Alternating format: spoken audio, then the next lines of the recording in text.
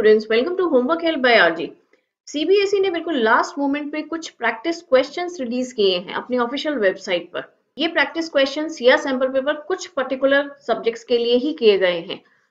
और ऐसा माना जा रहा है कि ये बहुत ही इंपॉर्टेंट है और जो आपका फाइनल पेपर होगा वो कहीं ना कहीं इसका रेप्लीकेटिव हो सकता है। इसलिए इन्हें करना बहुत ही ज़रूरी है। जितने भी कोचिंग इंस्टीट्यूट्स हैं या ट्यूशंस वाले हैं, वो सभी अपने बच्चों को इसका लाइव सेशन करा के इसकी प्रैक्टिस करा रहे हैं। तो हमने सोचा क्यों ना हम भी इसे अपने चैनल पर डिस्कस करें। तो यहाँ पर क्लास टेंथ का इंग्लिश प्रैक्टिस क्वेश्चन हम एक्सप्लेन कर रहे हैं बिल्कुल ईजी लैंग्वेज में। इसको आप देख लीजिए कि ये क्वेश्चन पेपर आपको कहाँ पर मिलेगा? बहुत से बच्चों को ये परेशानी आ रही है। हमें भी ये परेशानी आई थी, हम भी इसे ढूंढ रहे थे कि कहाँ पर मिलेगा। तो आपको गूगल में जाके सर्च करना है CBSE academic dot nic CBSE की ऑफिशियल वेबसाइट पर आप लोग पहुँच जाएँगे और वहाँ पर जाकर कोई अलग से टैब आपको यहाँ पर नहीं दिखाई देगी। कि जिसमें लिखा हो प्रैक्टिस क्वेश्चंस यहाँ पे ये वाला जो क्वेश्चन बैंक है क्वेश्चन बैंक में ही नीचे एडिशनल प्रैक्टिस क्वेश्चंस दिया गया है। इस टैब में आपके ये दोनों खुल जाएँगे।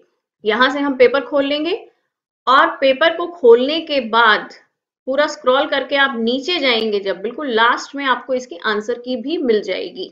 और एक्सप्लेनेशन आपको चाहिए तो आप यहाँ चैनल पर बने रहिए। फ़र्स्ट आपका reading section as usual discursive passage है। सेकंड हमारा केस बेस्ड पैसेज होगा। तो फ़र्स्ट पैसेज को मैं बहुत ही जल्दी से यहाँ पर समझाने वाली हूँ, ताकि आप लोगों का ज़्यादा टाइम वेस्ट ना हो। Despite plenty of naysayers the textbook is dead बहुत से लोगों के ना ना कहने के बावजूद भी टेक्स्ट बुक्स मर चुकी हैं, यानी खत्म हो चुकी है। It just doesn't know it yet in continues on walking about as though live लेकिन वो ये नहीं जानती हैं कि वो मर चुकी हैं और वो अभी भी ऐसे चल रही हैं जैसे कि अभी भी ज़िंदा हैं। आई इवन हैव वन मेरे पास भी एक है, एक फिजिक्स की on my bookshelf that was printed in 1891 it has some line drawings in no colour और मेरे पास जो बुक है, उसमें कुछ लाइन लाइन से ड्राइंग बने हुए, कोई कलर नहीं है। Today textbooks have lots of colourful images and engaging questions sprinkled about them जबकि आजकल की जो किताबें होती हैं उनमें बहुत सी कलरफुल इमेजेस होती हैं और बहुत से एंगेजिंग क्वेश्चन होते हैं जिनको करने से आप इन्वॉल्व होकर उनको करते हैं और एंजॉय करते हैं they also have tons of advice for teachers on how to use them effectively उसमें टीचर्स को भी बहुत सी एडवाइस दी जाती है कि किस तरीके से वो बच्चों को इफेक्टिवली पढ़ा सकती हैं second paragraph The word textbook originated in the 1720s, almost 300 years ago. It had a good run and is ready to retire. वो कह रहे हैं 1720s में टेक्स्ट बुक ओरिजिनेट हुई थी। 300 साल अब हो चुके हैं और ये बहुत बढ़िया चली लेकिन अब ये रिटायर होने वाली है। Those argue that you cannot learn well without a textbook ignore the centuries prior to seventeen twenty When lots of people learned and learned well with no textbooks anywhere, बहुत से लोग जो ये आर्ग्यूमेंट देते हैं कि बिना किताब के पढ़ाई नहीं हो सकती वो शायद 1720 से पहले की सेंचुरी को भूल गए हैं। जब लोग बिना किताबों के पढ़ते थे और बहुत अच्छा पढ़ते थे। You can learn without textbooks that is certain but why should we bother to change something that has worked for 300 years? वो कह रहे हैं कि ये तो पक्का है कि किताबों के बिना आप पढ़ सकते हो। लेकिन जो चीज़ 300 सालों से इतना अच्छा काम कर रही है, हम उसे क्यों बदले? क्यों परवाह करें उसे बदलने की? चलने दो ऐसी। Many deliver the verdict in a single word, technology. That's way too simplistic. बहुत से लोग इसके लिए सीधा एक ही जवाब देते हैं कि टेक्नोलॉजी में चेंज आ गया है तो हमें भी चेंज होना चाहिए। Third paragraph we have seen film loops overhead projectors motion picture projectors machine scoring of test and a mirror of other technological innovation in class classrooms but the textbook remains वो कह रहे हैं, हम इतने सारे अपने सिर पर प्रोजेक्टर लगे हुए देखते हैं मोशन पिक्चर्स हैं और हमारे टेस्ट की मशीन से चेकिंग हो रही है। इतनी सारी टेक्नोलॉजिकल इनोवेशन हो रही है। मेराइड का मतलब होता है बहुत सारा, पूरा एक जाल जैसे। तो टेक्नोलॉजी इतनी ज़्यादा डाइवर्स हो चुकी है, लेकिन फिर भी किताबें हैं। No technology alone will not end the reign of the textbook it takes something more and that became available in the 1940s the programmable electronic computer वो कह रहे हैं, खाली टेक्नोलॉजी जो है किताबों के राज को खत्म नहीं कर सकती। इसके लिए और किसी और चीज़ की भी ज़रूरत है। और वो हमें कब अवेलेबल हुई? 1940s में, जब प्रोग्रामेबल इलेक्ट्रॉनिक कंप्यूटर आए। और आज 70 साल बाद, अभी भी किताबें विजिबल है। The computer was not sufficient by it अब कह रहे हैं कि कंप्यूटर आ गया फोर्टीज में, लेकिन उसके बाद भी किताबें हैं, क्योंकि कंप्यूटर भी अकेला उसके लिए काफ़ी नहीं था। Fourth paragraph the next big change began with ARPANET in the 60s This foundation led to the internet and its growth has been phenomenal. But a widespread communication medium alone is not sufficient to dislocate textbooks either. अब वो कह रहे हैं कि 1960s में जब internet की शुरुआत हुई वो बड़ी धमाकेदार थी लेकिन उसका इतना जो ज़्यादा फैला हुआ कम्युनिकेशन था वो भी अकेला काफ़ी नहीं था किताबों को हटाने के लिए inexpensive computers easy to use interface GUIs जिसको हम बोलते हैं, and ready access to the internet all contribute. कि इंटरनेट के अलावा सस्ते कंप्यूटर और जी यूज़र फ्रेंडली जो इंटरफेस होता है, उन सब पे जो हमारी एक्सेस हुई है, उन सबने मिलजुल कर सहयोग दिया है।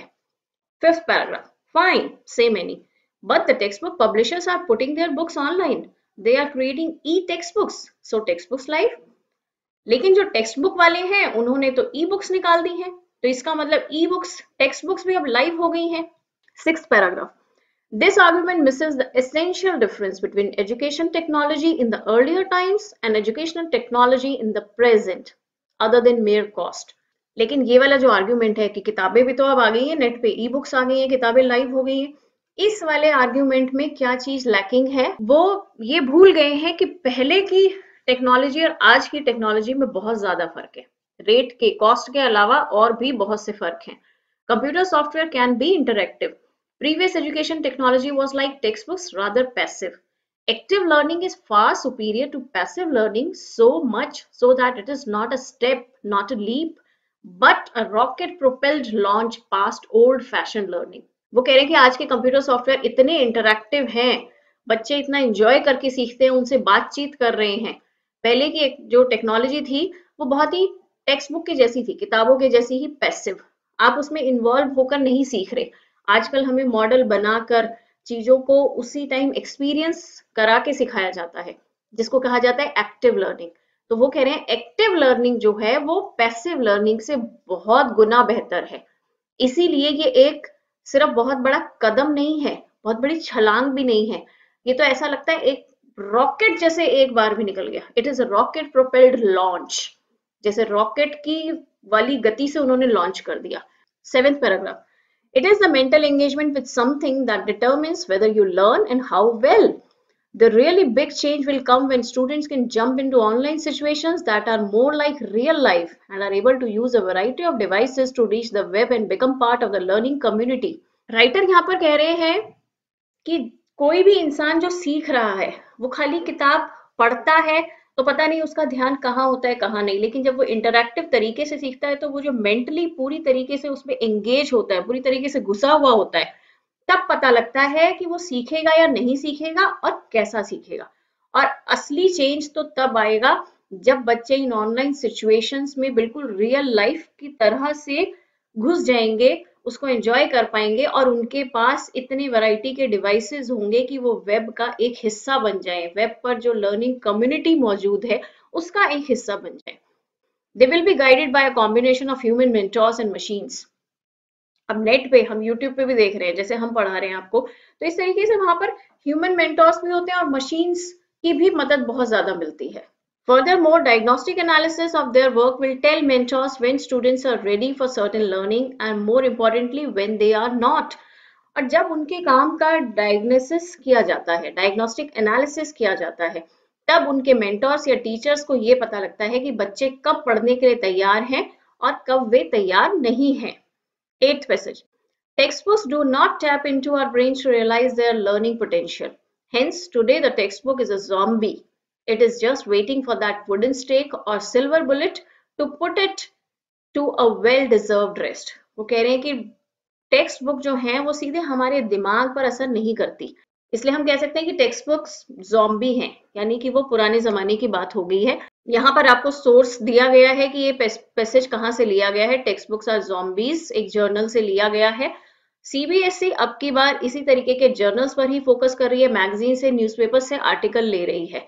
किसी बुक से या सैंपल पेपर से नहीं लिया जा रहा है अब इसके बेस इसके बेसिस पर हमारे एमसीक्यूज देखते हैं In the passage, the author talks about a well-deserved rest for the textbooks. Which of these describe the author's attitude towards textbooks? Author ने कहा कि उनको एक रेस्ट की ज़रूरत है तो इनमें से कौन सा एटीट्यूड है टेक्स्ट बुक्स के प्रति ऑथर का ही criticises the value added by textbooks in society उसको क्रिटिसाइज नहीं कर रहे हैं वो ही recommends that textbooks are the sole medium for effective learning नहीं, वो तो उल्टा ये कह रहे हैं कि अब टेक्स्ट बुक्स खाली टेक्स्ट बुक से पढ़ाई नहीं होती। He thinks that textbooks are far more superior than other medium of knowledge क्या टेक्स्ट बुक्स को बाकी मीडियम से अच्छा बता रहे हैं? He is concern about the continued of textbooks as a primary source of learning वो बहुत कंसर्न है, क्या टेक्स्ट बुक्स आगे भी इसी तरीके से एक प्राइमरी सोर्स रहेगा लर्निंग का कि अभी तक हम 300 सालों से सिर्फ़ टेक्स्ट बुक्स पर ही बेस्ड थे उन्हीं पर ही डिपेंडेंट थे क्या आगे भी ऐसा रहेगा? He is concern about that answer की जो भी देखना चाहता है तो पीडीएफ के लास्ट में दी गई है। पीडीएफ का लिंक मैं डिस्क्रिप्शन में भी दे दूँगी और आप जाकर सीधे सीबीएसई की ऑफिशियल वेबसाइट से इसे डाउनलोड कर सकते हैं। मैंने भी वहीं से किया है। Second question Based on the passage, the following developments took place in the education field. Passage में हमें बताया गया है कि किस तरीके से एजुकेशन फ़ील्ड में अलग अलग समय पर डेवलपमेंट्स हुई। The process of learning took place without the use of textbook textbook के बिना टेक्स्ट बुक के बिना ही लोगों ने सीखना शुरू किया। The invention of computers and digital books reduce the dependency on physical books अब जिस जब कंप्यूटर की इन्वेंशन हुई तो फ़िज़िकल बुक्स पे डिपेंडेंसी कम हो गई। The creation of adaptive and interactive learning tools contributed to the way learning took place. जो हमारे ये नए नए टूल्स आए, इनकी वजह से हमारी जो लर्निंग है, वो और ज़्यादा इंटरक्टिव हो गई। The introduction and circulation of textbooks turn them into a commonly use medium of learning जब टेक्स्ट बुक्स को इंट्रोड्यूस किया गया तो वो एक कॉमनली यूज़ मीडियम थी। अब यहाँ पे आपको बताना है which of these arranges the developments in order of their occurrence ये जो चारों डेवलपमेंट्स हुई है पिछले सालों में, उनमें से कौन सी सबसे पहले हुई, फिर उसके बाद, फिर उसके बाद ये हमें बताना है। तो सबसे पहले हमारी कौन सी हुई थी? The process of learning took place without the use of textbook तो सबसे पहला तो हमारा फ़र्स्ट आना चाहिए। सीधा सी और डी को तो यहाँ पर छोड़ दो। ए और बी में से देखना है अब। अब the invention of computers and digital books reduce the dependency ये तो बाद में आया है। इससे पहले हमारा कैसे हो गया ये? द इंट्रोडक्शन एंड सर्कुलेशन इससे पहले हमारा कौन सा हो गया? फोर्थ वाला। The introduction and circulation of textbooks turn them into a commonly use medium of learning पहले बुक्स नहीं थी, फिर बुक्स आई तो वो मेन सोर्स बन गई। तो फ़र्स्ट के बाद फोर्थ ये बी वाला लग रहा है इसका। इसके बाद second the invention of computers and digital books reduce the dependency on physical books ये भी ठीक है।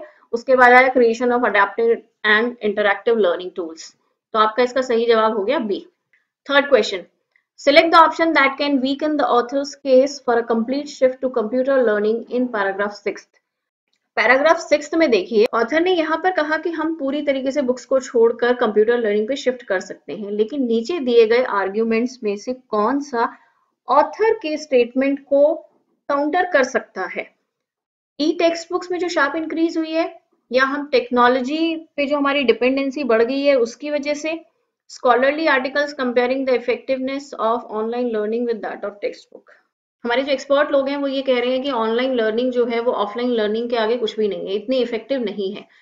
लास्ट कहता है development of e textbook with activities that require active participation from readers अब ये ई टेक्स्ट बुक आती जा रही हैं और उनके वो खाली बोरिंग ऐसे पैसिव नहीं, उसमें साथ में वो एक्टिव पार्टिसिपेशन दे रहे हैं रीडर्स का।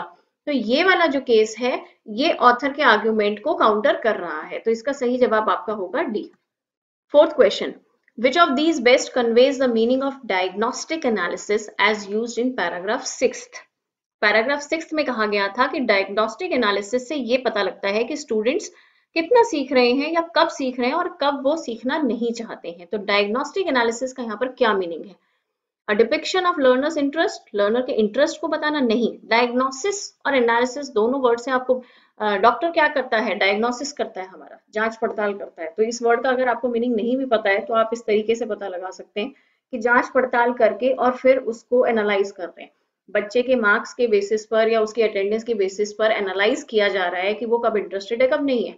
तो इसके बेसिस पर हम इसका मीनिंग ढूंढेंगे।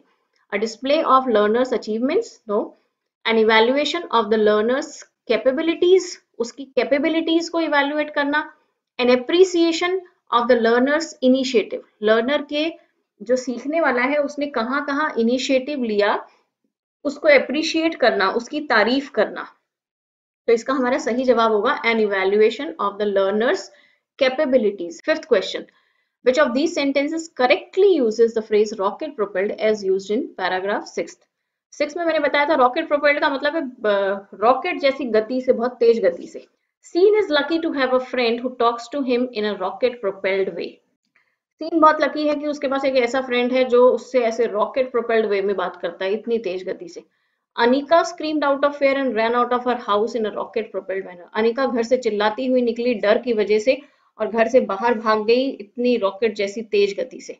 Regular practice and a good coach gave the batsman a rocket propelled rise in his career. अच्छी प्रैक्टिस और अच्छे कोच की मदद से बैट्समैन ने अपने करियर में रॉकेट जैसी तीव्र गति से बढ़त हासिल की। The TV was buzzing with the news of severe damage caused by a rocket propelled explosion. TV में कुछ न्यूज़ आ रही थी कि इस तरीके से कोई एक्सप्लोजन वहाँ पर हुआ है बहुत ही तेज गति से। तो हमारे पैसेज में वो क्या बता रहे थे कि रॉकेट प्रोपेल्ड मतलब इतनी तेज गति से बच्चे उन्नति करेंगे, आगे बढ़ेंगे। तो ये हमारा इसका सही जवाब है C regular practice and a good coach gave the batsman a rocket propelled rise in his career six question select the option that best describes the passage passage पढ़ के आपको क्या पता लग रहा है? नीचे दी गई इन चार स्टेटमेंट्स में से कौन सी स्टेटमेंट सही है? Harry Keller's piece gives an account of the origin of textbooks नहीं, वो सिर्फ़ टेक्स्ट बुक्स के ओरिजिन की बात नहीं कर रहे हैं। Harry Keller's essay provides a boost to the field of education technology. ये जो essay था या पैसेज था ऊपर ये क्या बता रहा है कि एजुकेशन टेक्नोलॉजी के फ़ील्ड में किस, कितनी तेज़ी आई है? Harry Keller's commentary on the popularity of computers is a must read क्या वो उसमें सिर्फ़ कंप्यूटर्स की पॉपुलैरिटी की बात करें? नहीं तो ए भी हमारा नहीं है सी भी नहीं है बी को अभी हम रख रहे हैं ऑप्शन में। डी कह रहा है Harry Keller's observation on the changes in learning pattern are brilliant वो कह रहे हैं, उन्होंने लर्निंग पैटर्न में जो जो बदलाव आया है, उस पर जो स्टडी की है ऑब्जर्वेशन की है वो बहुत ही शानदार है। तो ऐसा नहीं है क्योंकि उन्होंने जो ऑब्ज़र्व किया है, उससे सब लोग एग्री नहीं कर रहे। आप लोगों को डी के साथ कंफ्यूज नहीं होना है यहाँ पर। हम यहाँ पर एक जनरल वाला जो है कि एजुकेशन टेक्नोलॉजी में किस तरीके से बूस्ट आया है, उसके बारे में बात कर रहे हैं। तो इसका सही जवाब होगा आपका B seventh question select the option from the passage that does not qualify as a fact.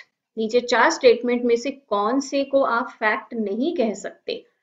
आपको याद है, मैंने फैक्ट और ओपिनियन की दो वीडियोस डाली हुई कि फैक्ट क्या होता है ओपिनियन क्या होता है? फैक्ट होता है जो कि जिसके पीछे एविडेंसेस हैं प्रूफ है और ओपिनियन होता है जो आपकी राय होती है।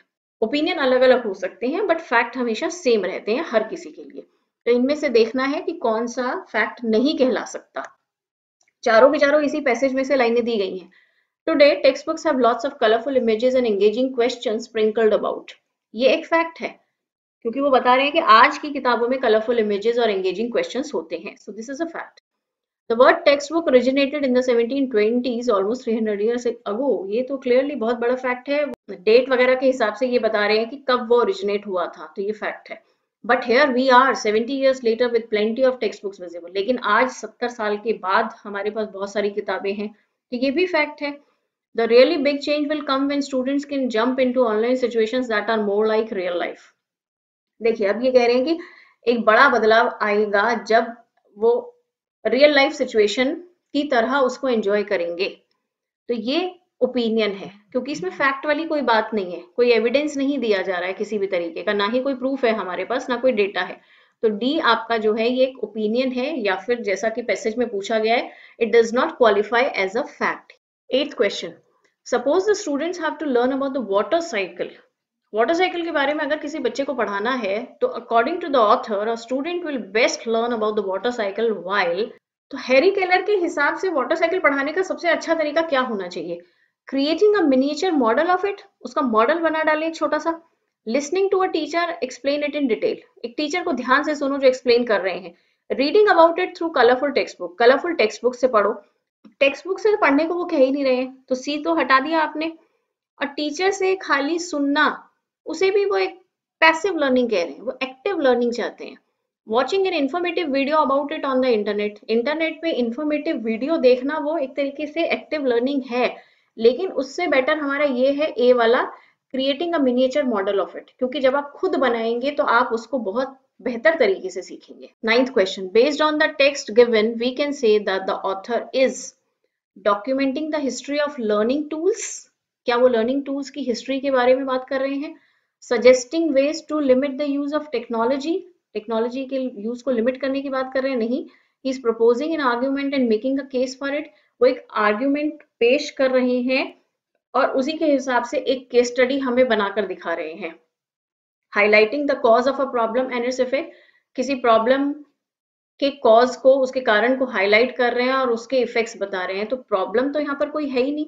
और लर्निंग टूल्स की हिस्ट्री भी वो नहीं बता रहे थे और टेक्नोलॉजी को कम करने की बात भी वो नहीं कर रहे हैं।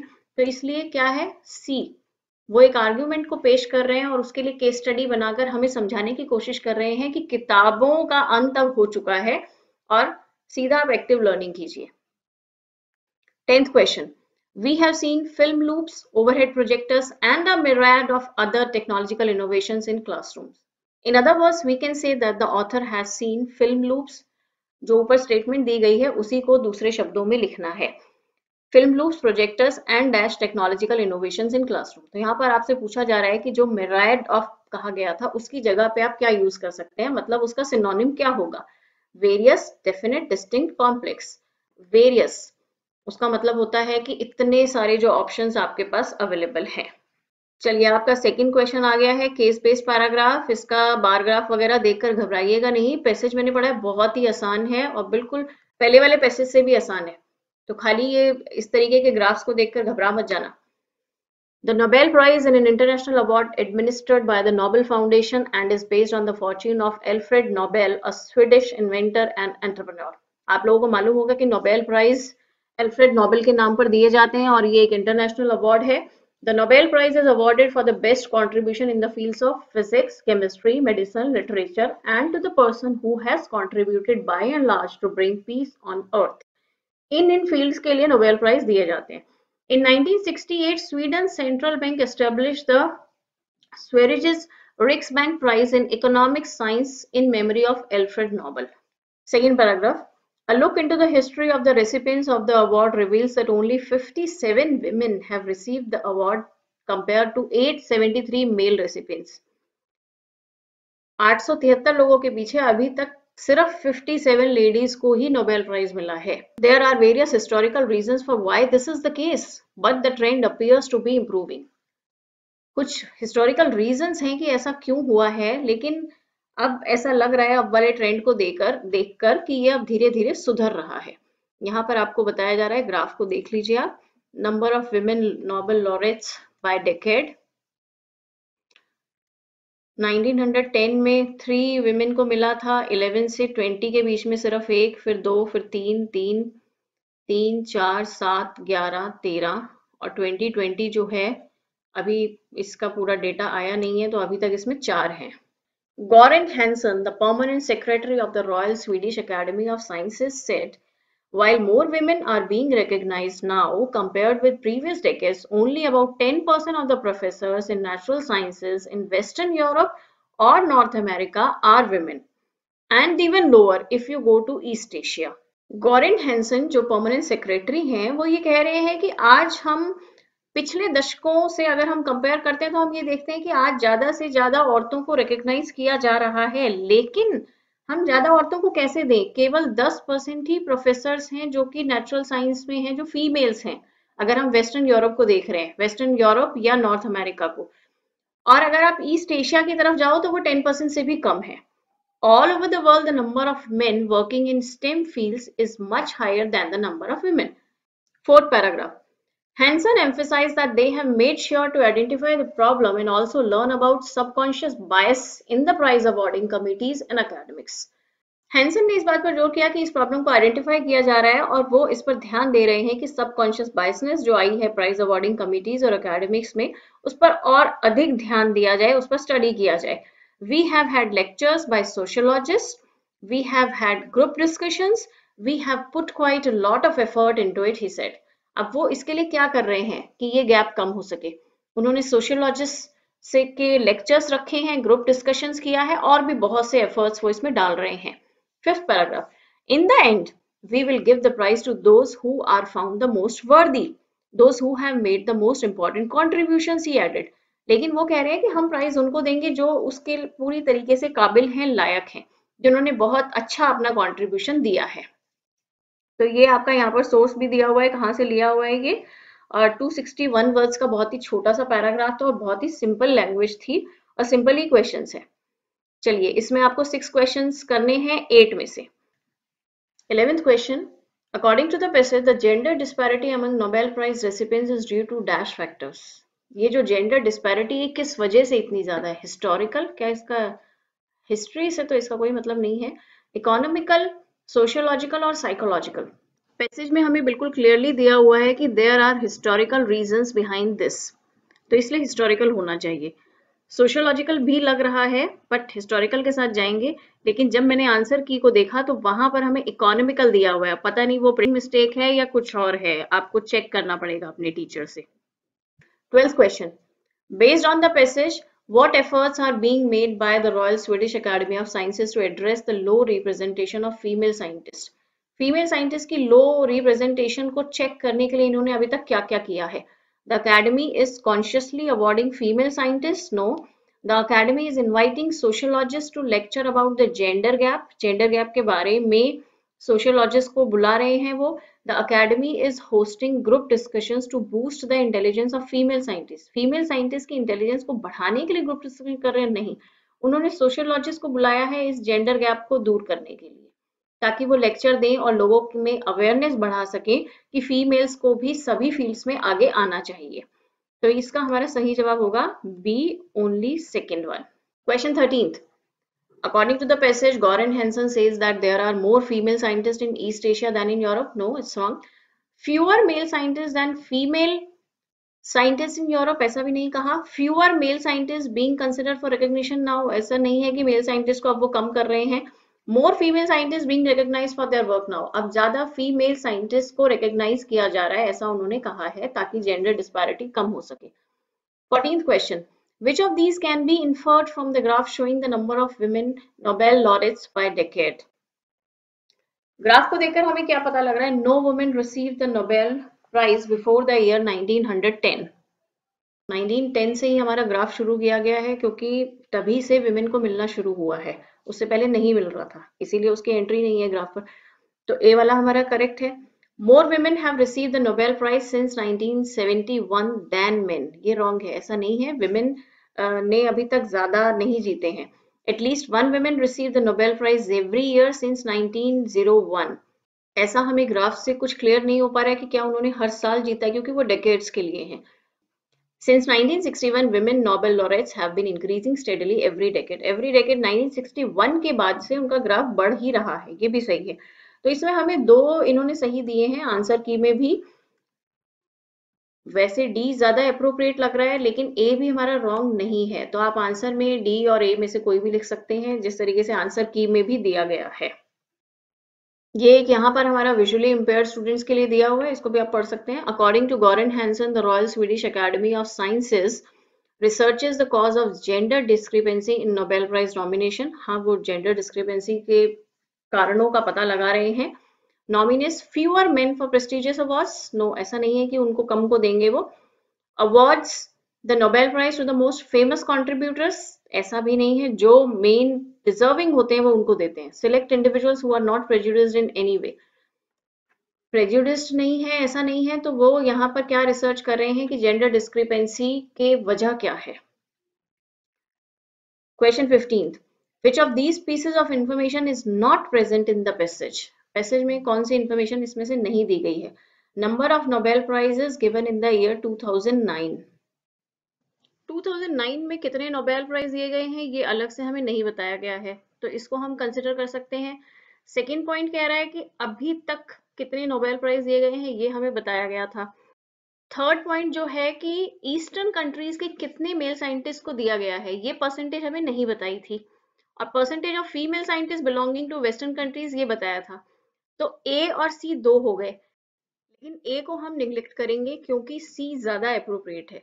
ए में 2009 की इंडिविजुअल इंफॉर्मेशन हमारे पास नहीं है, लेकिन कलेक्टिव इंफॉर्मेशन तो है, इसलिए इसका सही जवाब होगा सी 16th question, select the sentence that correctly uses the phrase by and large as used in paragraph Paula prepared a by and large cake for dinner. ये wrong है. We bought by and large clothes for the campaign. उसके लिए हमने इस तरीके के कपड़े, ये wrong है.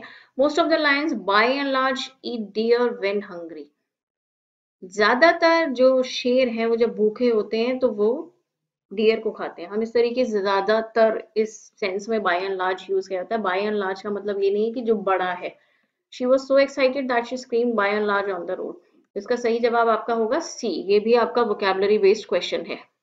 Question seventeen the Nobel prize is an international award because it recognize the achievements made in all subjects by all genders in all countries by all institution सभी सब्जेक्ट्स में ये नहीं होता है जेंडर्स में होता है, लेकिन ये सभी कंट्रीज़ में होता है, इसीलिए इसको इंटरनेशनल कहा जा रहा है। इंटरनेशनल कौन सी चीज़ होती है जो सब, जिसमें सभी देश इन्वॉल्व हैं? Question eighteen identify the opinion from these statements about the information share in the passage नीचे दिए गए सेंटेंसेस में से आपको ओपिनियन बताना है कि इनमें से ये जो स्टेटमेंट है, कौन सा ओपिनियन है? जैसे हमने फ़र्स्ट पैसेज में फैक्ट छाटा था, यहाँ पर हमें ओपिनियन छाटना है। Nobel prize have been awarded to more men than women ये एक फैक्ट है ओपिनियन नहीं है। Alfred Nobel's wealth is use to award the Nobel prize to the winners The Nobel Prize was awarded for the best contribution in only four fields initially. Initially ये चार fields में दिया जाता था ये fact है. Women in general are more inclined to working on world peace than on other subjects. ये भी fact है जिसे हमने एनालाइज किया है ऑब्ज़र्व किया है कि ज़्यादातर जो औरतें हैं जो वर्ल्ड पीस वाले सब्जेक्ट्स पे ज़्यादा काम करती हैं तो ये वाला जो है कि अल्फ्रेड नोबेल्स की वेल्थ को नोबेल प्राइज विनर में बांटा जाता है ये एक ओपिनियन है चलिए राइटिंग सेक्शन पर आ गए हम। दोनों पैसेजेस करने के बाद क्या पैसेजेस आपको क्लियर हैं, आपके लिए यूजफुल है या नहीं, कुछ कमेंट करके बताइए ताकि मुझे पता लगे कि मैं इतनी ज़्यादा एक्सप्लेनेशन दे रही हूँ, ये ठीक है या नहीं है। Question nineteen read the following dialogue between Kashika and Sam the underlined parts of this dialogue may or may not इसको दोबारा कर लेते हैं। Question nineteen read the following dialogue between Kashika and Sam The underlined parts of this dialogue may or may not have an error. Choose the option that best replaces the underlined parts. You may choose no error if no change is required in the underlined parts. दो underlined phrases हैं आपको देखना इनमें क्या गलती है कशिका ने कहा Sam will we take a look at the rules of the poetry competition conveyed by Ms. Natasha last Tuesday?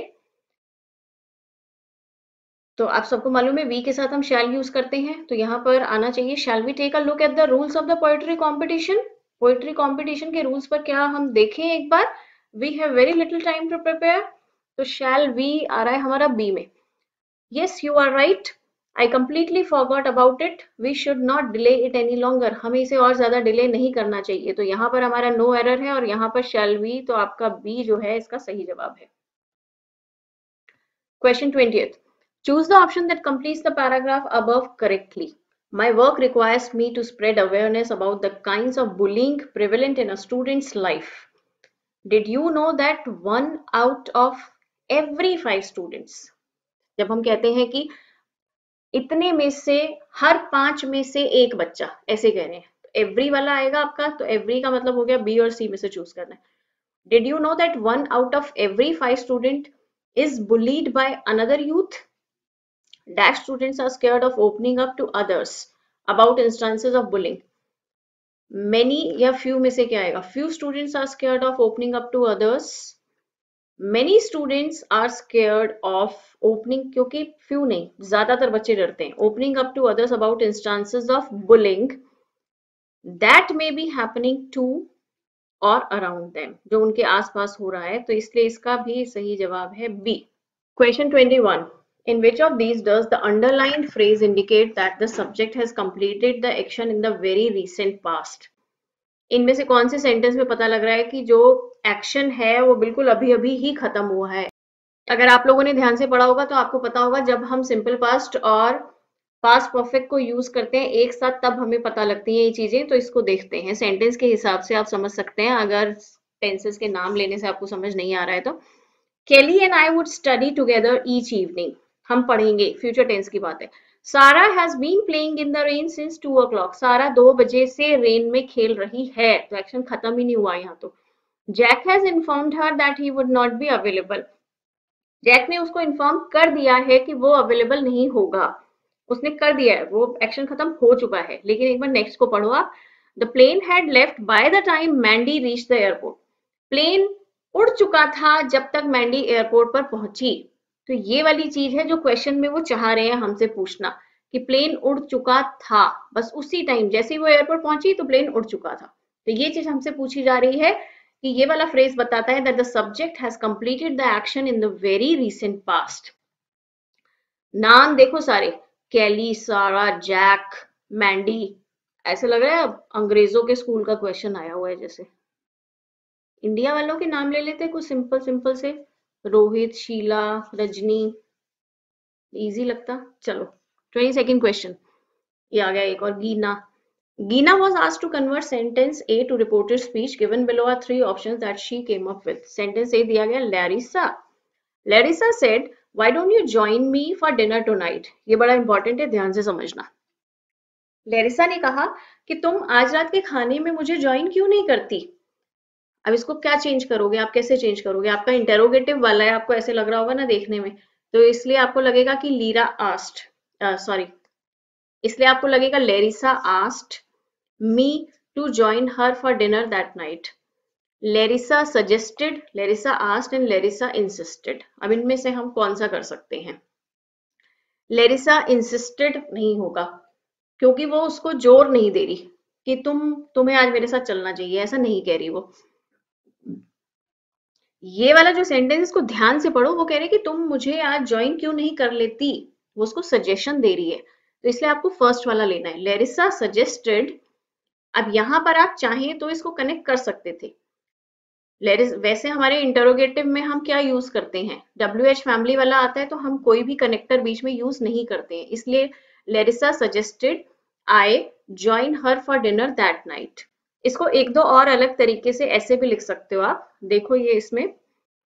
तो इसका सही जवाब होगा A only one is correct क्योंकि उसने उसको सजेस्ट किया है। ना तो इंसिस्ट किया और आस्ट मी की बजाय सजेशन वाला ज़्यादा अच्छा लग रहा है। Twenty third question given below is a statement made by politician Jason Bailey I don't believe in giving second chances to these so-called allies who went behind my back. इसी की ये स्टेटमेंट है imagine you are newspaper reporter while reporting this statement तो आप इसको कैसे लिखेंगे? You will not change this to this तो हम इसको पहले एक बार सिंपल अपने शब्दों में बना लो कि आप इसको कैसे लिखोगे। Jason Bailey said that he did not believe in giving second chances to those so called allies who went behind his back ठीक है? अब ये कह रही है कि इनमें से आप किस किस को चेंज नहीं करोगे? माई टू हिज वो तो हमने किया है। Change went to gone went to gone नहीं होगा. चेंज डोंट टू डिडंट भी हमने किया है और दीज को हमने दोज में भी किया है तो इसका सही जवाब हो गया आपका बी बड़े घुमा फिरा के पूछे हैं इन्होंने सवाल. Twenty fourth question choose the option that complete the sentence below correctly she had already begun eating her dinner by the time I reach there ये तो बड़ा सिंपल है, जैसे अभी ऊपर बताया था सिंपल पास्ट और पास्ट परफेक्ट वाला. कि वो खाना खाना शुरू कर चुकी थी जब तक मैं वहाँ पहुँची। चलिए नेक्स्ट क्वेश्चन आ गया you are Sneha a resident of Hubli Karnataka you have to write a letter to the editor of a national daily drawing attention to families who are paying their domestic workers below Karnataka minimum wages of rupees one for eight hours of work per day कि लोग अपने जो domestic servants हैं, उनको कम तनख्वाह दे रहे हैं, कम wages दे रहे हैं कर्नाटका में तो उसको उसके लिए अवेयरनेस जगाते हुए आपको एक लेटर लिखना है। लेटर के एमसीक्यूज यहाँ पर है। Question 25 which of these elements are most important for Sneha to include in the given letter a formal tone creative graphics and images ये वाला नहीं होगा तो जिस जिस में सेकंड आ रहा है उसको हटा दो। The senders and receivers address a narrative of one's own experience अपने एक्सपीरियंस को यहाँ पर नहीं शेयर करना है तो हमारा वन और थ्री होना चाहिए तो ओनली वन एंड थ्री हमारा आ रहा है सी में।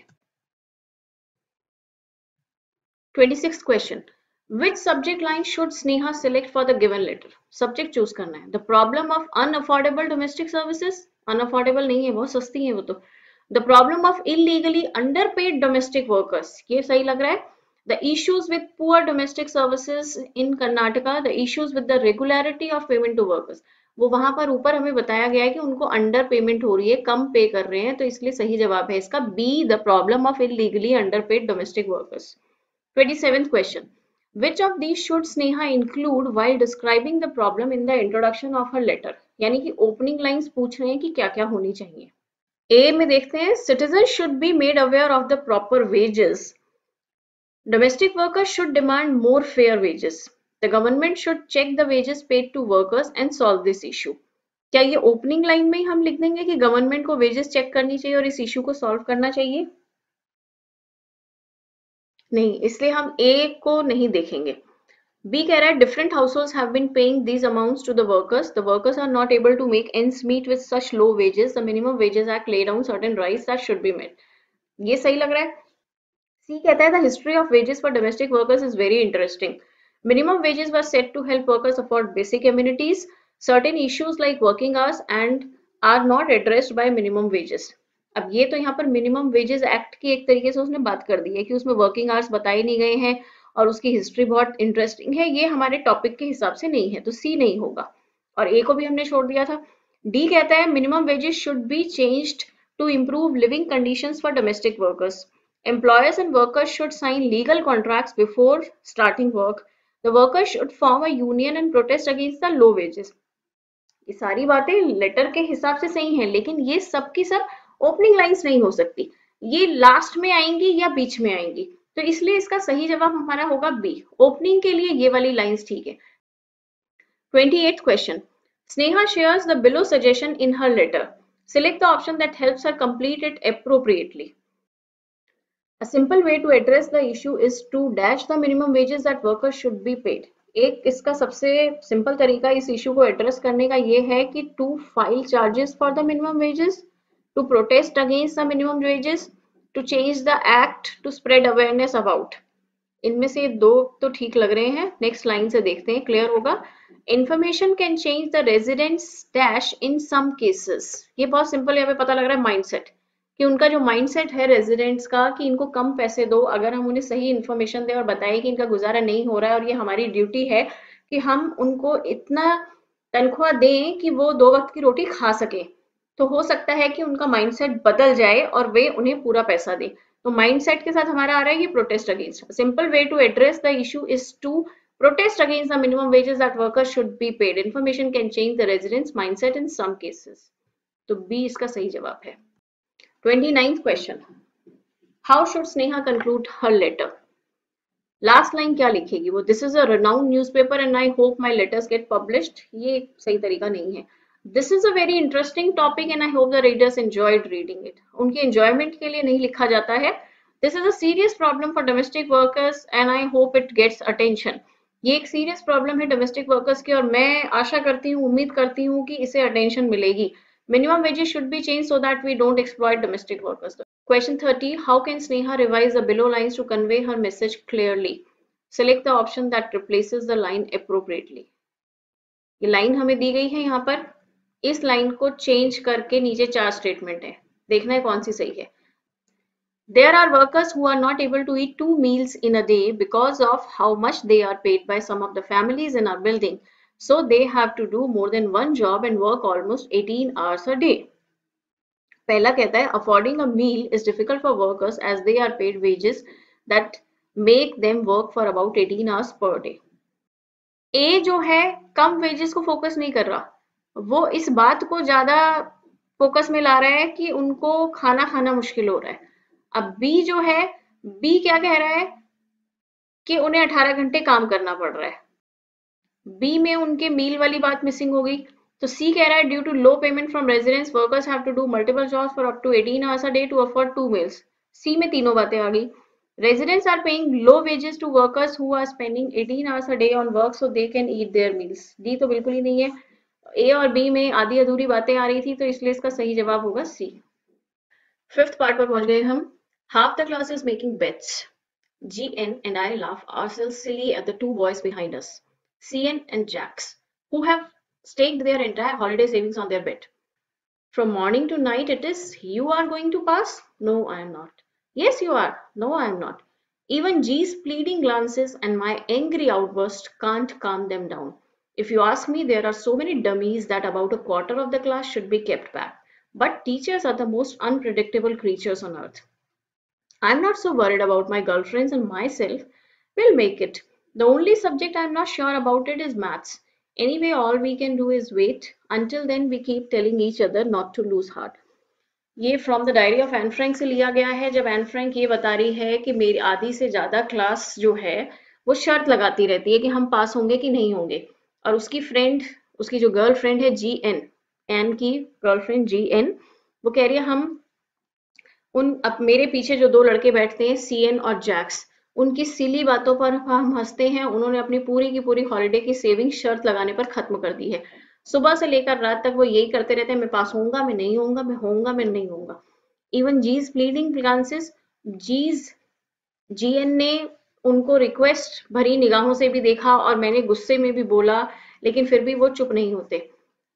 और अगर मुझसे पूछो तो मैं कहूँगी कि क्लास में इतने मतलब एक चौथाई से ज़्यादा बुधम भरे हुए हैं, एक चौथाई से ज़्यादा बेवकूफ़ बच्चे भरे हुए हैं कि सबको ही फेल कर देना चाहिए, उन्हें आगे भेजना ही नहीं चाहिए।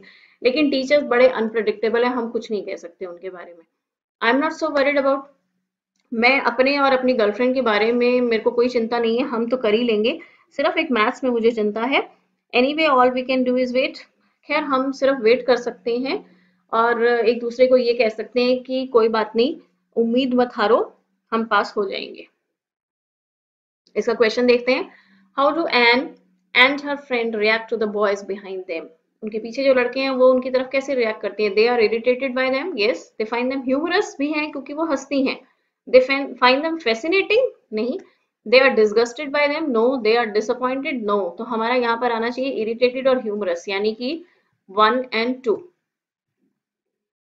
thirty second question select the option that shows the correct relationship between one and two Sean and Jacks keep making bets about passing and mentions teachers are very unpredictable तो उन्होंने कहा कि हम पास होंगे कि नहीं होंगे और एन ने कहा कि टीचर्स बड़े अनप्रिडिक्टेबल हैं।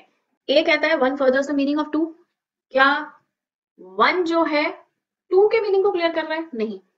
बी कह रहा है कि one is false but two is true दोनों के दोनों ट्रू है. Two is the reason for one two is the effect of one two उसका इफ़ेक्ट नहीं है but two is the reason for one क्योंकि वो शर्त लगा रहे थे इसी बात की वजह से एन ने कहा कि टीचर्स बड़े अनप्रिडिक्टेबल हैं तो इसका सही जवाब होगा C thirty third question the girls Ann and G and the two boys Sean and Jacks are both Confident about passing in maths? No. Making fun of the dummies in the class? No. Telling each other that they will be promoted? Yes. Spending money on a gamble about passing? Gambling पे पैसा कौन खर्च कर रहा था सिर्फ boys कर रहे थे तो इसलिए इसका सही जवाब है सी half the class is making bets because they want to spend money they want to disturb each other they don't know if they will pass they are dummies who like playing games they don't know if they will pass इसीलिए वो शर्त लगा रहे हैं Why does Anne say the line below? Anyway, all we can do is wait. उसने ऐसा क्यों कहा? Because she believes that patience is a virtue? No. Because she knows that she will succeed in due time. उसे पता था कि वो पास हो जाएगी. To stop worrying about something that is not in her control. उसने ऐसा इसलिए कहा कि जो चीज़ आपके कंट्रोल में नहीं है उसके बारे में चिंता करना छोड़ दो ये बहुत ही आसान कॉम्प्रिहेंशन था। सिक्स पार्ट को देखते हैं। I am very happy to say that Wanda Petronski is the winner of the girls medal Unfortunately, Wanda has been absent from school for some days and is not here to receive the applause that is due to her. The hundred dresses से ये लिया गया है। वहाँ पर ma'am जो है competition uh, के विनर को अनाउंस कर रही हैं। उन्होंने कहा कि मैं बहुत खुश हूँ कि वांडा पेट्रॉन्स की जो है वो गर्ल्स मेडल की विनर है। लेकिन दुर्भाग्यवश अनफॉर्चुनेटली वो कुछ दिनों से स्कूल नहीं आ रही है तो इसलिए ये अप्लॉज लेने के लिए वो यहाँ पर नहीं है। Let us hope she will be back tomorrow now class you may file around the room quietly file word यहाँ पे थोड़ा अलग है, इसीलिए इसका क्वेश्चन भी दिया गया है। अगर आप एस पर जाकर देखेंगे the hundred dresses question bank तो वहाँ पर भी आपको इससे रिलेटेड एक क्वेश्चन मिल जाएगा, जो सीबीएसई e ने अपने पिछले क्वेश्चन बैंक में डाला था। यहाँ पर फ़ाइल का मतलब है कि सभी लोग एक लाइन में खड़े हो जाएँ। Now class you may file around the room quietly and look at her exquisite drawings कि सभी लोग कमरे में शांति बनाए रखें और चुपचाप से एक लाइन में लगकर ड्रॉइंग्स को देखते जाएँ। The children burst into applause and even the boys were glad to have a chance to stamp on the floor. सभी लोग तालियाँ बजाने लगे, खुश होकर और बॉयज़ भी ज़मीन पर अपने पैर पटकने लगे put their fingers in their mouths and whistle though they were not interested in dresses boys को हालाँकि girls की dresses में कोई interest नहीं था लेकिन फिर भी वो सीटियाँ बजा रहे थे look peg whispered Maddie there is that blue one she told us about isn't it beautiful Maddie बहुत ही एक्साइटेड है वो कह रही है कि पहले देखो वो ब्लू ड्रेस जो उसने हमें जिसके बारे में बताया था सुंदर है ना यस सेट पेगी पेगी ने कहा and here is that green one और वो ग्रीन भी यहाँ पर है boy and I thought I could draw और मैं सोचती थी कि मैं ड्रॉ कर सकती हूँ तो यहाँ पर मेडी जो है बड़ी एक्साइटेड हो रही है लेकिन पेगी कुछ डिस्करेज हो गई है ऐसा लग रहा है thirty six question Which of these is true about Wanda's teacher in the given extract? Teacher की क्या qualities आपको पता लग रही है? She is flustered by the boy's reaction to the announcement. No. She is angry with Wanda. No. She is surprised to note. She is surprised to note that Peggy is not the winner. She is supportive of Wanda's talent in drawing. वो उसको उसके talent को support कर रही है. 37th question. Which sentence uses file in the same way as the extract does? They arrange the documents in the file neatly ये नहीं है मैंने ऊपर बताया आपको the police will file charge against all suspects no I file my nails regularly so they retain in a good shape इन सब में file के अलग अलग मीनिंग आए हैं। The travellers file through to the ticketing counter first travellers को पहले ticketing counter पे लाइन लगाकर जाना था। तो डी इसका सही जवाब है। Thirty eight question why did the boy start sharing लड़कों ने शेयर करना क्यों शुरू किया? To appreciate Wanda's work, to bring positivity into the classroom, to show Peggy that they support Wanda, to have some noisy fun in a free manner. Wanda के work से उन्हें कोई मतलब नहीं था वो के, केवल एक नॉइजी फन चाहते थे इन अ फ्री मैनर तो डी सही जवाब है। Question thirty ninth boy and I thought I could draw in the above line Peggy wants to imply that वो इसका क्या मतलब है कि और मैं सोचती थी कि मैं ड्राइंग कर सकती हूँ। इसका मतलब क्या है? इसका मतलब है Wanda can draw better than her she herself is not good at drawing Wanda is not really a talented artist ये तो बिल्कुल नहीं है। She could also have drawn what Wanda drew C और डी नहीं है। देखिए ए और बी में शायद थोड़ी कंफ्यूजन आपको हो कि इससे उसका क्या मतलब है कि she herself is not good at drawing या Wanda can draw better than her तो उसने वांडा की ड्राइंग्स को देखने के बाद ये कहा है कि और मैं सोचती थी कि मैं ड्रॉ कर सकती हूँ तो उसका यहाँ पे इनडायरेक्टली कहने का मतलब है कि Wanda can draw better than her forty question how are Maddie's and Peggy's reaction to Wanda's drawings different हाँ तो इसको हम एलिमिनेट करते हुए चलते हैं मेडी शॉक्ड शॉक नहीं है मेडी मेडी इज़ अमेज्ड वो है. इंस्पायर्ड उससे कोई इंस्पिरेशन मिल रही है ऐसा हमें पैसे से नहीं पता लग रहा। मेडी इज़ सपोर्टिव वो उसको सपोर्ट भी नहीं करी वो खाली देखकर खुश हो रही है बहुत ज़्यादा वो हैरान है। तो Maddie is amaze and Peggy is surprise और पेगी सरप्राइज़ है कि अरे वो इतनी अच्छी ड्रॉइंग कर लेती थी कि आ, मतलब मेरी तो उसके आगे कुछ भी नहीं है। तो इसका सही जवाब होगा आपका बी ये आपकी पोइट्री की लाइन्स आ गई हैं He stalks in his vivid stripes the few steps of his cage on paths of velvet quiet in his quiet rage. He should be lurking in shadow, sliding through the long grass near the water hole where, pum, where plump deer pass. वो बड़े बड़े कदमों से चल रहा है cage के अंदर ही कुछ स्टेप्स उसके वेलवेट जो मखमली पैर होते हैं इन इज़ क्वाइट रेज चुपचाप से शांत गुस्से में ही should be lurking in shadow वो कह रहे हैं, उसको तो कहीं ना कहीं शेडो में छुपा हुआ होना चाहिए था लॉन्ग ग्रासेस में से स्लाइड करना चाहिए था near the water hole where plump deer pass जहाँ पर प्लम्प डियर जाते हैं ताकि वो उन पर अटैक कर सके और अपना शिकार पकड़ सके Which of these activities is mentioned in the extract as something the tiger should do in the jungle? उनके हिसाब से जंगल में टाइगर को क्या करना चाहिए था? Roar at visitors stare at people wait for his prey drink clean water wait for his prey क्योंकि जब वो ग्रासेस में छुप रहा है तो वो क्या कर रहा है? अपने प्रे के लिए, अपने शिकार के लिए इंतज़ार कर रहा है। Forty second question why does the poet describe the cage as having few steps cage में जब वो चल रहा है तो पोएट उसको फ्यू स्टेप्स क्यों कह रहे हैं? To draw attention to the stairs in the cages उसमें जो सीढ़ियाँ हैं, उसके प्रति ध्यान आकर्षित करने के लिए no no. To show admiration for the size of the cage, admiration नहीं दिखा रहे, to convey the importance of protecting tigers, to highlight the restriction on the tigers freedom. Tiger की जो फ्रीडम है, वो कर्टेल हो गई है, उसे एक छोटे से पिंजरे में डाल दिया गया है। उस चीज़ को हाईलाइट करने के लिए ये बात कही गई है। Forty third question the contrast indicated in the given extract is between इस पोयम में किन दो चीज़ों का कंट्रास्ट दिखाया गया है? The tiger's reality and the tiger's ideal situation यही हमारा सही है the luxury of zoo and simplicity of jungle ये नहीं है the tiger's actual feeling and how the tiger should feel the silence of the tiger in a zoo and is dominance in the jungle tiger की जो reality है और जो उसकी ideal situation है उसके कंट्रास्ट को इस पोएम में डिपेक्ट किया गया है Select the option that describes the tiger in the lines below. Lurking in shadow, sliding through long grass. Sly का मतलब होता है जो छुप कर किसी पर वार करता है या कोई योजना बनाता है तो स्लाई होगा। स्केयर्ड वो डरा हुआ नहीं है, वो तो अटैक करने जा रहा है। डोमिनेंट भी नहीं है, क्योंकि अब भी वो छुपा हुआ है तो वो डोमिनेंट कैसे है? लाइट फुटेड पैर दबा के चलते हैं ना किसी पर अटैक करने के लिए तो लाइट फुटेड भी है। तो इस आई कैचिंग आई कैचिंग नहीं है क्योंकि वो छुपा हुआ है। तो वन और फोर इसका जवाब होना चाहिए, यानी कि A which of these has the same rhyme scheme as the stanzas in the extract तो इसके लिए हमें देखना पड़ेगा, इसकी राइम स्कीम क्या है? हिस्टॉक्स हमारी पोएम की राइमिंग स्कीम को समझ लीजिए पहले। He stalks in his vivid stripes A the few steps of his cage B on pads of velvet quiet ये इनमें से किसी के साथ नहीं जा रहा है। तो C in his quiet rage cage rage यानी कि ये बी तो हमारी राइमिंग स्कीम हो गई A B C B A B C B तो उसी के साथ हमें इसको मैच करना पड़ेगा। Tell me not in mournful numbers life is but an empty dream for the soul is dead that slumbers and things are not what this image तो A B A B है, ये नहीं चल रही।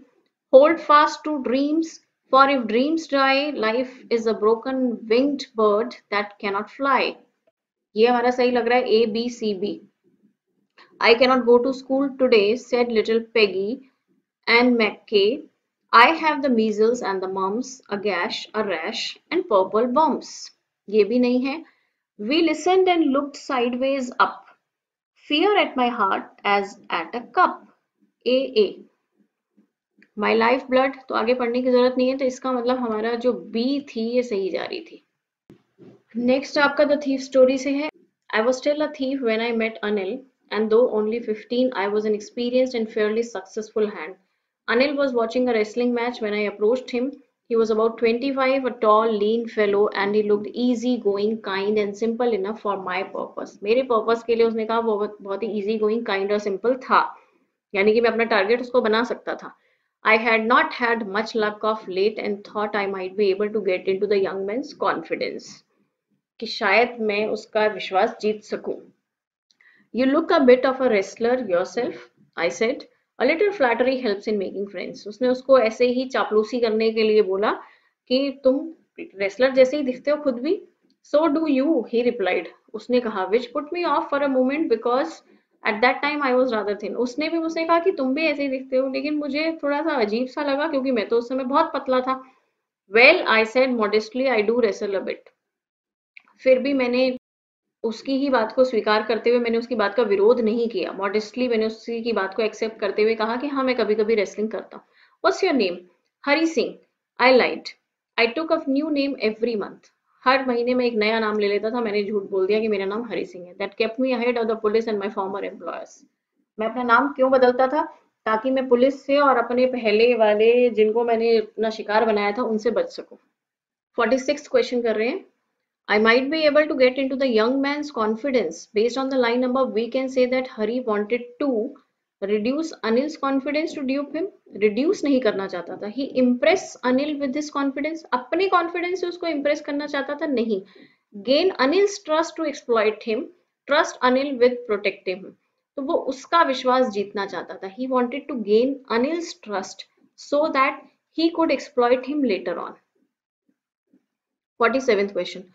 Which of these sentences shows the correct usage of the word modestly as used in the extract? The profits of our company have grown modestly over the last year. हमारे profit थोड़े से बढ़ गए हैं. Ryan always modestly shrugs off the compliments from people. लोग उसको जो compliment देते हैं वो उन्हें बड़ी ही सहजता से shrug off कर देता है मतलब बहुत ज़्यादा उस पर react नहीं करता वो we are looking to buy a modestly furnished apartment हम एक ठीक ठाक सा अपार्टमेंट खरीदने की सोच रहे हैं। It is not advisable to dress modestly during winters winters में मॉडेस्टली ड्रेस मत हो, अच्छे से कपड़ा पहनो, खूब सारा, क्योंकि सर्दी है। तो यहाँ पर इसी सेंस में जो बी वाला है हमारा, इस सेंस में पैसेज में यूज़ किया गया था कि कोई जब आपको कोई बात कह रहा है तो आप उसका अपोज नहीं कर रहे हैं। आप उस बात को चुपचाप से ऐसे ही लेट गो कर रहे हैं। Forty eight question which of these about the narrator cannot be inferred from the extract extract में से नरेटर के बारे में कौन सी बात नहीं पता लग रही है? नरेटर यहाँ पर कौन है? Hari Singh. He was a lean fellow वो पतला दुबला था। He was fond of wrestling ऐसा तो नहीं पता लगा कि उसको रेसलिंग का शौक था। He was good at making friends he had ways to avoid being arrested तो उसको फ्रेंड्स बनाने आते थे। वो लोगों को बेवकूफ़ बना सकता था और उसके पास तरीके भी थे अरेस्ट होने से बचने के लिए। तो बी से हमें ये बी वाला हमें नहीं पता लग रहा है कि was fond of wrestling forty ninth question Hari had dash before encountering Anil Anil से मिलने से पहले हरी क्या था? He had just been released from jail he tried to pull off a big robbery. He had a successful career as a thief. He had been unsuccessful for some time वो ये कह रहा था ना कि काफ़ी दिनों से मेरा लक अच्छा नहीं चल रहा था तो he had been unsuccessful for some time before encountering Anil पचासवें क्वेश्चन पे पहुँच गए हैं, उसके बाद दस और बचे हैं। He was about twenty five a tall lean fellow and he looked easy going kind and simple enough for my purpose the reason that the narrator says the above line is because he felt that उसने line क्यों कही? He felt that it would be easy for him to manipulate Anil. Anil को manipulate करना आसान रहेगा. He could learn a lot about wrestling from Anil. No.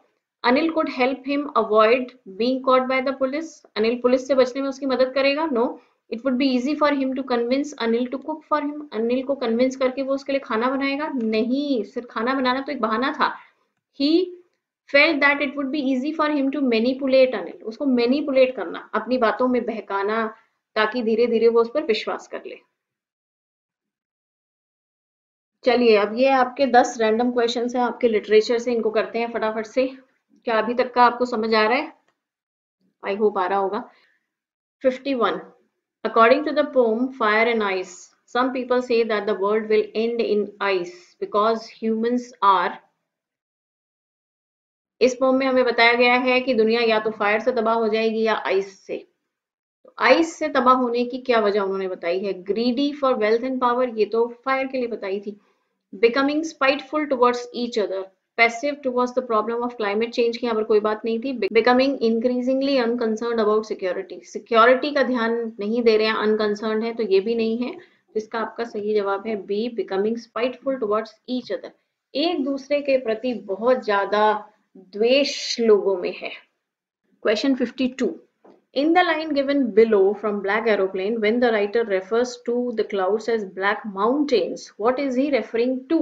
उन बादलों को जब वो उसने ब्लैक माउंटेन कहा है they look like black mountain standing in front of me across the sky तो उसका क्या मतलब था? His hopelessness due to imminent death उसको सामने जो बिल्कुल ऐसे लग रहा था कि अनअवॉइडेबल एक डेथ जो आ गई है उस टाइम उसकी जो निराशा थी उसकी वजह से नहीं। जब हम किसी चीज़ को बहुत बड़ा ऐसे कहते हैं तो मतलब मुसीबत का पहाड़ जैसे। तो इसलिए इसका जवाब होगा his fear of their enormous size वो इतने बड़े थे तो वो अपने डर को वहाँ पर दर्शा रहा है, उन्हें माउंटेन कहकर। Fifty third question which of these lines from a long walk to freedom, nelson mandela, hints at the end of apartheid in south africa? कौन सी लाइन से पता लग रहा है कि वहाँ पर अपार्थेड खत्म हो चुका है? I was not born with hunger to be free I was born free free in every way यहाँ पर अपार्थेड खत्म नहीं हुआ था। I yearned for the basic and honorable freedoms of achieving my potential of earning my keep. इससे भी नहीं पता लग रहा although that day neither group knew the lyrics of the anthem they once despised they would soon know the verse by heart जब पहले दिन वो इंस्टॉलेशन सेरेमनी पे एक दूसरे दो एंथम वहाँ पर बजाए गए थे वो एक दूसरे के लिरिक्स को नहीं जानते थे यहाँ पर पता लग रहा है कि जो पहले वाला सिस्टम था वो खत्म हो चुका है अपार्थेड का और अब एक नया सिस्टम आ गया है इक्वालिटी का तो सी से आपको पता लग रहा है।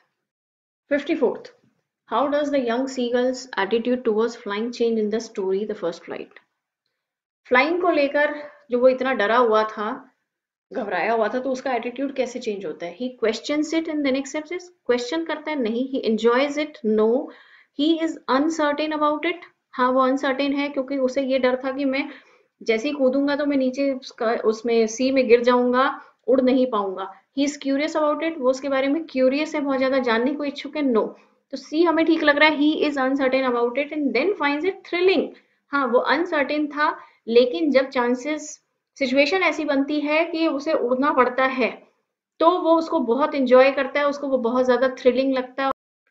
Choose the option that correctly identifies what the narrator is feeling in the line given below as he stands rigid trembling staring down जब वो एकदम ऐसे रिजिड खड़ा है, काँप रहा है और नीचे की तरफ़ देख रहा है तो इसमें आपको क्या पता लग रहा है? गिल्ट उसको किसी बात का नहीं है, शॉक है। जब उसके ऊपर एकदम से क्रो के उड़ने से बर्फ़ गिरती है तो वो थोड़ा सा हैरान हो जाता है तो उसको शॉक जैसा लगता है। शेम नहीं है फियरलेसनेस भी नहीं है। फियरफुल हो सकता है, होता बट फियरलेसनेस नहीं है। होपलेसनेस है, क्योंकि वो बड़ा निराश हो चुका था वहाँ पर। इसका सही जवाब है आपका B two and five fifty six question and saved some part of a day I had dreamed Based on the above lines, select the word that describe the poet's feeling at the end of the day. जब crow ने उसके ऊपर बर्फ़ गिराई तो उसके बाद उसका रवैया चेंज हो गया जो कुछ सोचकर वो परेशान हो रहा था। तो उसने कहा कि मेरा बाकी का दिन इसने बचा दिया जो मैं आधा बर्बाद कर चुका था। तो इसमें उसकी फीलिंग कैसी है? डिसअपॉइंटेड है वो? नहीं. कंटेंटेड है?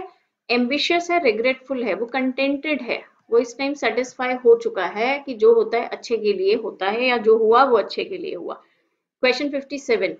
In the story Footprints Without Feet, Mrs. Hall agreed to provide accommodation to Griffin because he had किस वजह से उन्होंने अकोमोडेशन उसको दी थी he had made some payment to her in advance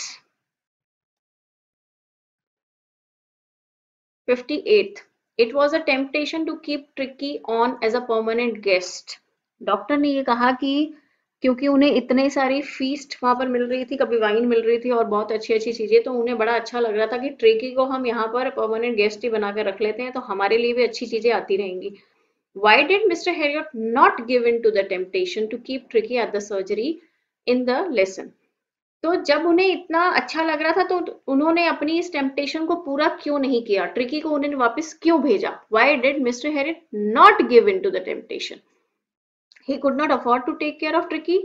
He felt Tricky would be unhappy at the surgery. He knew Mrs. Pumphrey was miserable without Tricky. He continued feasting on items Mrs. Pumphrey sent for Tricky. वो जानते थे कि Mrs Pomfrey का बुरा हाल है tricky के बिना इसलिए उन्होंने बाद में उसको वापसी भेज दिया So option C is the right answer. 59th question. Select the option that completes the given sentences correctly. The boys he followed Griffin in footprints without feet dash and dash दो blanks दिए यहाँ पर the boys who followed Griffin in footprints without feet dash and dash they had found Griffin's laboratory they were curious about the footprints ये हमारे first blank में आएगा second में and they had almost discovered Griffin's secret तो हमारा ये हो गया two and four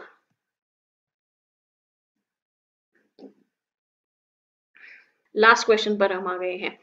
Maids rushed in and out bringing his day bed his night bed favourite question toys and rubber rings breakfast bowl lunch bowl supper bowl Mr Herriot gives the above description in the story to show how किसने इतना सारा description दे रहे हैं वो? वो ये बताना चाह रहे हैं how spoiled and pampered Tricki was Mrs Pumphrey के प्रिविलेजेस या उसके रिचनेस को नहीं बता रहे, वो ये बता रहे थे कि ट्रिकी को कितना ज़्यादा इन्होंने इतने शानो शौकत दी हुई थी, जिसकी वजह से उसकी हेल्थ खराब हो गई थी। तो ये हमने यहाँ पर अपना पूरा का पूरा कर लिया है और आई होप कि आप सभी लोग इसमें 40 आउट ऑफ़ 40 मार्क्स लेकर आएँगे। चलिए best of luck to all of you for 11 December answer key भी यहाँ पर नीचे ही दी गई है, आप लोग इसको देख सकते हैं। तो मिलते हैं अगली वीडियो में, तब तक के लिए गुड बाय